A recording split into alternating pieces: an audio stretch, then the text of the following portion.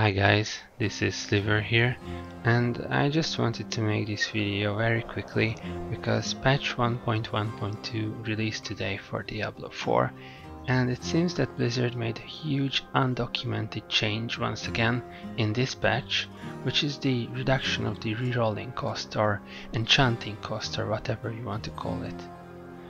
If you've been following Diablo 4, you know that this has been requested by the player base basically since launch, because players found enchanting costs extremely high.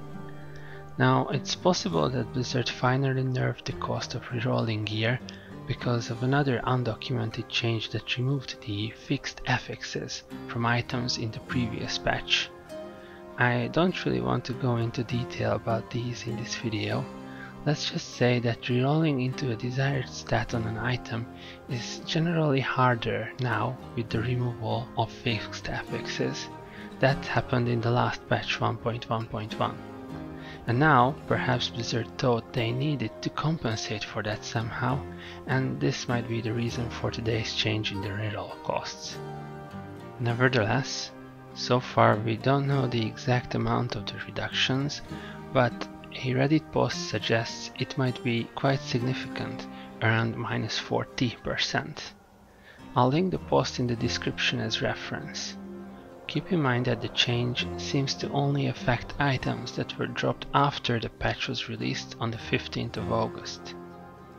Now, if we disregard the fact that this was a totally unexpected change that didn't appear in any previously published patch notes, we can say that this is definitely a step in the right direction by Blizzard towards fixing the game. However, I highly doubt that this alone would be enough to keep players from migrating away from the game due to the lack of endgame content, the soulless renown grind, and the still unfixed systems such as resistances and the extreme amount of crowd control. Anyway, this is for today Thank you for watching.